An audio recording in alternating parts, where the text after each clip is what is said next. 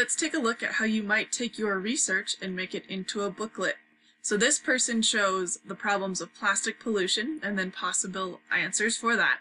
And they chose to make a booklet. So you can see they have ribbon that they use to tie it together. Um, they got a little bit creative with their cover and they used just kind of materials they had at home to make it.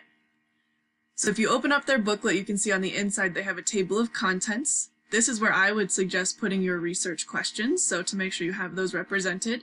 Um, so this person said plastic pollution problems, so kind of an intro, did you know, health hazards, and how to help.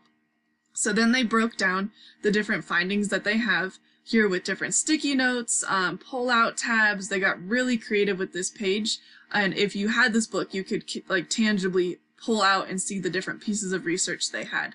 So that's just one way you could do that.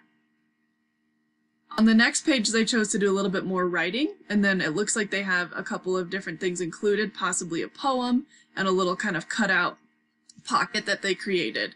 Um, again, it can look however you want, but you can see that here, if any person went to this page, they would get a lot of information to read and then to interact with on the other side.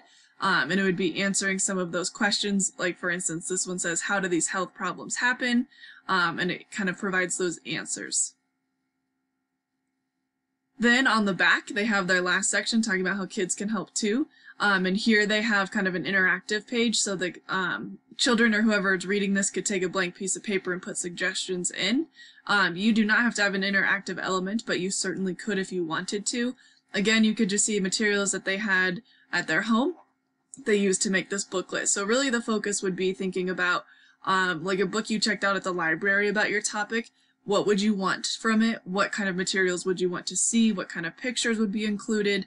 how would the organize um, the information be organized and that's how you would go about making your booklet. So I know it's a quick overview here, um, but any of your teachers can help you if you want to reach out on how to make that.